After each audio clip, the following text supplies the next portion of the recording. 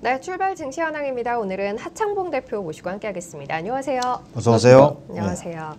자, 오늘은 뭐 최근에 이제 인플레이션에 대한 이야기들 많이 그렇죠. 나누고 있고 이제 그를 또 금리가 반영하고 있고 하는 구간에서 우리는 시장에 어떻게 대응을 해야 할 것인가 큰 주제로 이야기를 좀 나눠보도록 할게요. 사실 2주 들어서는 그 미국의 10년물 국채 금리가 잠잠했는데 어, 네. 다시 또 간밤에 훅 튀었습니다. 1.5를 확 넘었고 1.56도 지금은 넘어서 있는 상황이에요. 지금 1.56이. 음. 예. 30년물도 다시 또 좀 올랐더라고요. 이 분위기 어떻게 봐야 하는지. 가만 생각하면 예정된 거 아닌가 생각도 해봅니다. 왜냐하면 2020년도 정시가 이제 코로나 특수성이 갖고 있었는데 그 당시에 보면 이제 상당히 많은 뭐 4차, 5차까지, 아, 4차 정도까지 가는 뭐 돈풀기를 진행을 했죠. 그럼 돈풀기의 후유증은 결정적으로 다시 금리가 상승 효과로 가는 건데, 그러니까 2021년도 정시를 많이 이제 긍정론자 입장에서 볼 때는 이제 경기 부양에 대해서 이제 기저 효과, 코로나의 어떤 반사 소비 이런 게 다 포괄이 되는데 그게 수반되는 것이 이제 경제 회복에 따른 인플레이션이죠. 그런데 시장은 아무래도 상반기에 지금 3월입니다만 이 부분에 대해서 제가 생각할 때는 어느 정도 과하게 반응하는 건 있는데 과하게 반응할 수밖에 없는 거는 그만큼 2020년도 정시가 만들어낸 글로벌 신고가가 어떻게 보면 그 기대감으로 많이 올랐던 유동성 힘이었지 않습니까? 유동성 힘 쪽에서 이제 금리가 계속 상승하는 거니까 한 가지만 보면 지금 10년물과 30년물을 가장 보고 있는데 이거는 받아들여야 됩니다. 골드만삭스는 10년물 국채금 골드만삭스는 보면 약간 조금 지르는 성격이 있는데 1.9%까지 전망을 하더라고요. 전망은 누구나 할 수 있습니다만 한 가지 팩트는 이겁니다. 10년물 국채 금리가 작년 8월 달 대략 0.7 정도였으니까 국채 금리의 수익률 상승률이 100%가 나왔고요. 따블입니다. 그래서 30년물 같은 경우도 1.2에서 2.4면 거의 따블이니까 우리가 받아들인 입장에서는 이제 국채 금리가 상승하는 부분은 막을 수가 없을 것 같습니다. 이거는 이제 품고 가야 돼요. 과연 물론 그러면 또 많은 투자가분들이 고민을 합니다. 아니 국채 금리가 상승하는 걸 품고 간다는 말은 앞으로 정시가 계속 성장 좀 빠지느냐? 아니죠. 제가 바라보는 것처럼 그건 아닌 것 같고 어제 이제 옐런 의장, 아, 파월 의장의 발언에서 국채 금리가 팍 튀어버렸습니다. 그래서 지금 보면 이제 아침 이거는 제가 새벽 5시 40분 정도에 네. 캡처했는데 지금은 10년물이 1.56까지 올라갔습니다. 1.56. 네, 올라갔는데 이게 지금 이 표시는 어 어제 자, 이거 다시 장기 1년짜리인데 일중으로 어제 보게 되면 한 1.4 후반에 있다가 파월 회장 발언하기 전부터 올라 버렸어요. 근데 파월 회장의 발언을 저도 봤는데 특별히 뭐 그러니까 제가 생각할 때 시장이 너무 큰 기대를 했던 것 같습니다. OT까지 이야기가 나올 정도로 기대를 했던 것 같아요. 근데 어제 이제 파월 의장 Operation Twist에 대해서 말하지 않았습니다. 오히려 이제 시장에서 계속적으로 한 Operation Twist를 이야기하지 않겠느냐 그 이야기인데 한번 좀 바로 그 연결지어서 되돌려 보면 Operation Twist 말 그대로 트위스트 꼬는 거 아닙니까? 비, 이 꼬는 걸 말하는데 이게 한 2010년도 정도에 이제 미국에서 먼저 나왔던 용어인데요. 그러니까 단기채를 매도하고 장기채를 매입하는 겁니다. 그러면 여기서 우리는 간단히 보면 채권을 매입했다. 장기채를 매입했다. 즉 10년물과 30년물을 말하는 건데 장기채를 매입하게 되면 오히려 이제 장기채 매입에 따른 금리 하락 효과가 나오게 됩니다. 인플레이션. 그러니까 요 10년물 국채 금리를 꺾을 수 있는 요인이죠. 근데 이 Operation Twist 같은 경우는 연준이 쓰는 많은 정책 중에서 그러니까 특별히 새로운 유동성을 공급하지 않는 상태에서 채권의 만기를 이용했던 유동성 공급 정책 중에 하나입니다. 그렇기 때문에 장기채의 수익률 상승을 막아주는 요인인데 물론 이제 이 카드를 꺼낼지 안 꺼낼지 근데 저는 더 궁금한 게 뭐냐면 시장이 참 재미난 게 좋아 그러면 시장이 바라는 대로 연준이 Operation Twist까지 하는 하는 쪽으로 그림을 그려줬어. 근데 시장이 해석을 만약에 그 정도야라고 해석해 버리면 또 올라 버리는 거예요. 그렇죠. 그러니까 이게 참 뭐라 그러냐면 조금 전에 말씀드렸지만은 그냥 간단하게 생각하는 게 좋을 것 같아요. 너무 복잡하면 머리 아픕니다. 그러니까 간단하게 생각한 거면 어느 정도의 국채 수익률의 상승은 이제 트렌드다 받아들이는 거고 하지만 연준의 정책, FOMC 회의의 정책, 전체적인 bounce는 bound는 23년까지는 기준금리는 없다. 그러니까 기준금리는 없다. 다만 실질금리가 오르는 거에 대해서는 우리가 경제 회복으로 받아들여야 된다. 이렇게 보면서 아마 이 부분이 올해 정시 내내 갈 건데 아까 초반에 잠깐 말씀드렸던 이게 어느 정도 시장의 성장주의 차익 실현의 빌미는 제공하는데 정시가 지금 많이 하락은 하고 있습니다만은 극단적인 투매까지는 갈 것 같지 않은 어느 정도의 내공은 다져가지 않겠느냐 그렇게도 보겠습니다. 근데 뭐 사실 YCC라든지 Operation 어, Twist라든지 이런 것들은 이제 그 연준에서 쓸 수 있는 정책으로 이미 가지고 있는 거거든요. 그렇죠. 어, 정책이 준비된 있는 거니까. 가지고 있는 거고 그러다 보니까 이제 에, 이제 경제 학파 중에 에, 합리적 기대 학파들이 있단 말이에요. 네.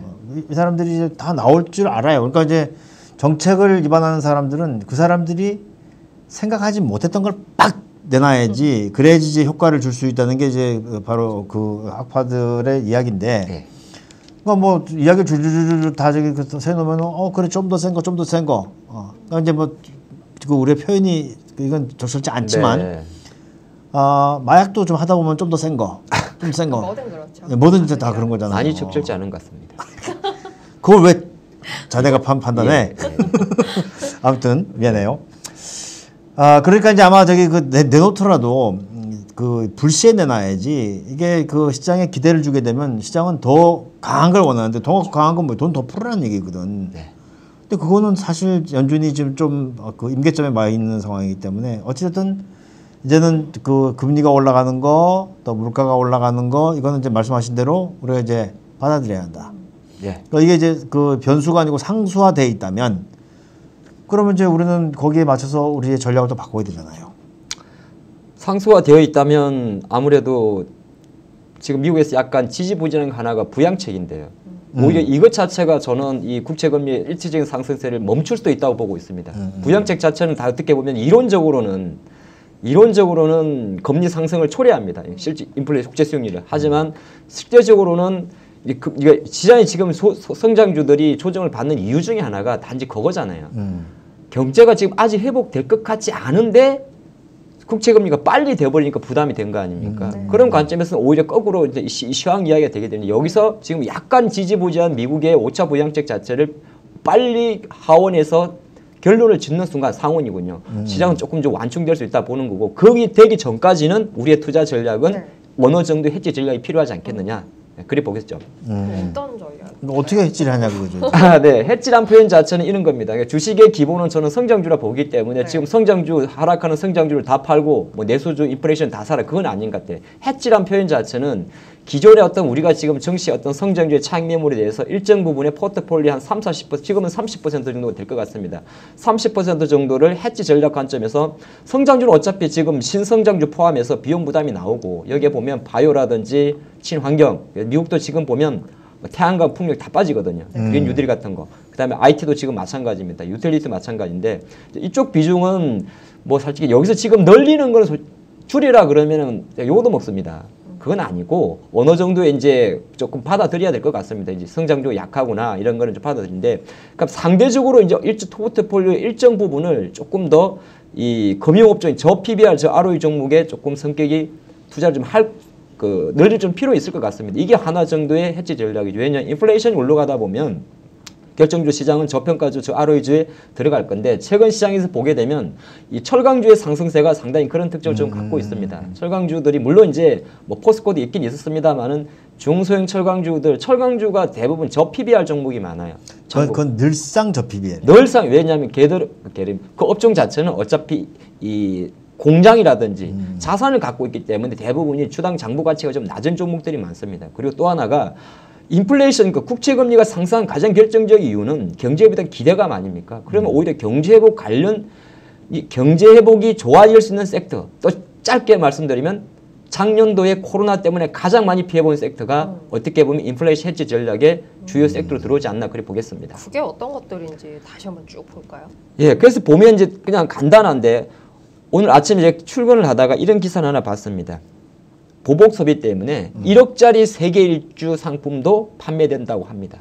1억짜리. 예, 그게 어- 구체적으로 어디에서 어, 어떤 코스로 갈지 모르겠습니다만은 1억짜리 보복 소, 그러니까 세계 일주 상품 그리고 아마 언젠가 될지 모르겠습니다만 지금 우리나라 국민들도 골프를 외국에 못 나가가지고 이미 지금 일정 부분 태국 쪽에 가게 되면 골프장 내에서만 격리하는 골프 상품도 나왔다고 합니다. 어. 그러니까 한국 사람들이 해외를 가면 제일 문제가 2주간의 차가 격리거든요. 그렇죠. 근데 태국에서 그냥 골프장에서?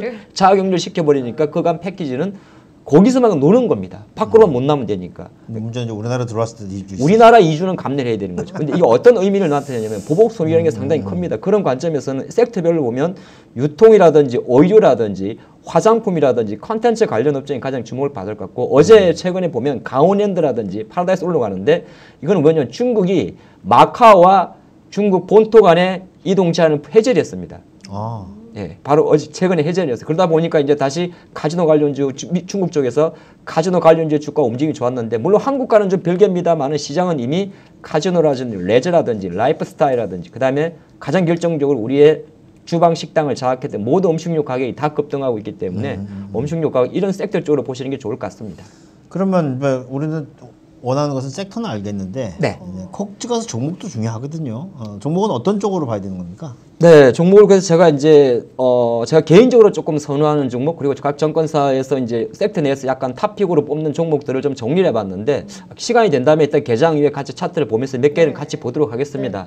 유통 쪽에서는 지금 보면 신세계 한 신세계와 이마트, 롯데 하이마트 쪽인데 신세계와 이마트는 거의 같은 동형으로 보시면 좋을 것 같은데요. 하이마트는 지금 보면 약간 처져 있을 겁니다. 근데 여기 보복 섭리는 이제 4월 달, 5월 달을 노리는 거거든요. 그래서 하이마트가 연초 올랐다가 지금 주가가 좀 빠져 있는데 이제 가전에 대한 소비를 좀 말씀드리는 겁니다. 가전에 대한 소비를 말씀드리는 거고 의류 쪽은 이미 다 주가들이 다 고공행진인데 FNF는 중국 쪽이고 화성, 화성, 한세, 영업무역의 공통점이 있습니다. 대부분이 해외 생산 해외 판매인데 최근 시장에서 큰 특징 중에 하나가 달러 강세가 들어오면서 우리나라 원화 강 원화가 약세로 간다는 겁니다. 그렇죠. 원화 약세로 갔을 때 수혜는 오히려 해외 거점을 두고 해외에서 생산 유통을 하는 한세 실업이라든지 화성이라든지 영무역이 되는 거고 환성 같은 경우는 2월 26일 날 개점한 여의도 백화점 현대백화점이 더현. 현재. 저는 아직 가보지 못했습니다. 이렇게 가까이 지척에 있음에도 불구하고 가보지 못했는데 어, 지금 현재 분위기는 여의도 백화점 불패 신화를 깼다고 합니다. 여의도에는 백화점이 들어오면 다 안 됐었다는 이야기가 좀 있었나 봐요. 옛날로 치면. 그럼 필패신할 겠다. 네, 필패군요. 근데 지금 현재 분위기는 그렇지 않다고 합니다. 바로 한섬이 이제 현대백화점 계열이고요. 화장품 쪽 많이 아시겠습니다. 아모레퍼스피카, 뭐 코스맥스 그리고 최근에 가장 핫한 섹터가 OTT 쪽입니다. 그러다 보니까 제이 컨텐츠라든지 DNC 미디어, 웹툰 쪽 관련주들도 상당히 주목을 좀 받고 있고요. 레저 쪽은 이제 잠깐 이제 시작인 것 같습니다. 그래서 파라다이스나 GKL 같은 경우는 실적은 정리 안 나오는데 이제 앞으로 좋아지지 않을까 하는 기대감이고 삼천리 자전거 같은 경우는 자전거 관련주인데 계절성도 있습니다. 지난해 5월 달에도 상당히 압도적인 상승률을 보였었기 때문에 뭐 실적이 어느 정도 근데 삼천리 자전거가 전간 실적을 보면요. 19년도 18년도 적자였다가 작년도 흑자를 봤습니다. 그 첫 번째 이유는 제1차 재난지원금 효과였습니다. 아, 아. 제1차 재난지원금이 작년 3, 4월 달에 집행이 된 이후부터 어, 우리가 이제 코로나 시대에 상당히 많은 판매額을 올렸습니다. 자전거 다 사자. 네, 그런 관점이고 음식주 쪽은 뭐 여러분 많이 아시겠지만은 중국 쪽 오리온, 그다음 화이트 진로, 빙그레 이런 종목들 좀 자주 주목되는 모습입니다. 네, 자, 해외 선물 옵션 첫 거래 이벤트. 키움증권에서 해외 선물 옵션 첫 거래하고 최대 100만 원 현금 받자. 투자 시 원금 초과 손실에 유의하세요.